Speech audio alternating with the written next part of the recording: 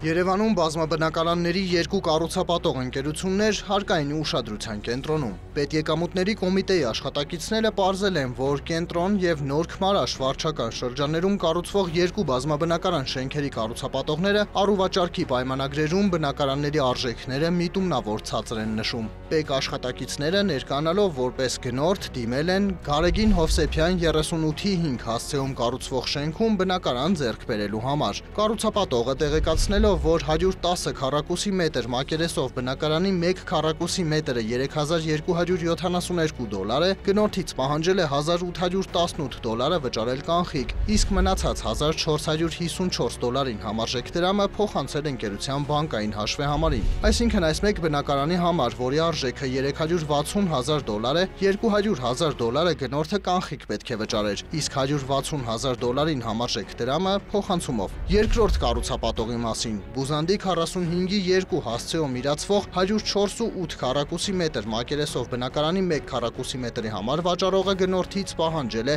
1 միլիոն 880 հազար դրամ։ Կրկին նույն սխեմայով 1431 դոլարը կանխիկ, 1 միլիոն 321 հազար 794 դրամը փոխանցումով։ Այս դեպքում կառուցապատողը 500 հազար դոլար ընդհանուր արժեքով գործարքից 150 հազար դոլարը կստանար արձերան։ Պեկում հաշվարկել են առաջին դեպքով մեկ գործարքից ստվերը կազմել է 55.5%, երկրորդ դեպքով 29.7%։ Կոմիտեի ծրտյալ գնորդները կառուցապատողներից յուրաքանչյուրին 50 հազարական դոլար կանխավճար են տվել, ինչից հետո ընկերություններից մեկի տնորենը, իսկ մյուսի հիմնադիրը եւ վաճառքի գծով ղեկավարը առանձնապես խոշոր չափերով հարկեր վճարելուց խուսափելու հիմնավոր կասկածով ձերբակալվել են ՊԵԿ հետաքննության եւ օպերատիվ հետախուզության վարչության ոլորտային թիվ 8 բաժնի աշխատակիցների կողմից։ Կառուցապատող տնտեսարու սուբյեկտներին տեղեկացնում ենք, որ Գնման իրավունքով օտարված անշարժ գույքը, որոնք չեն ստացել պետական գրանցում, ինչպես նաև այդ գործակների վերաբերյալ հարկային մարմիններ չեն ներկայացվել հաշվարկ հաշվետվություններ,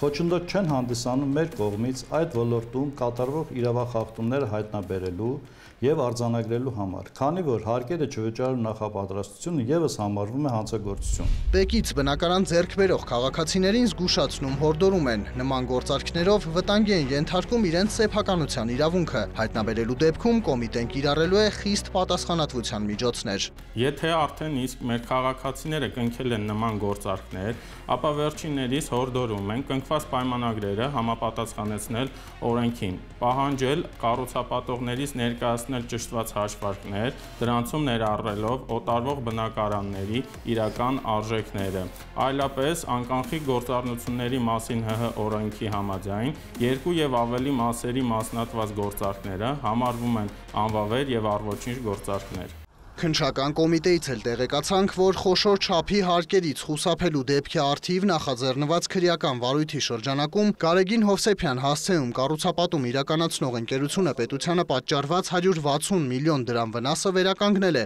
ինչից հետո ընկերության տնօրենն ազատ է արձակվել։ Մյուս ընկերության տնօրենին մեղադրանք է ներկայացվել խոշոր չափի հարկերից խուսափելու համար, որպես խափանման միջոց է ընտրվել գրավը։ Մուշեղի Սախանյան, լուրեր։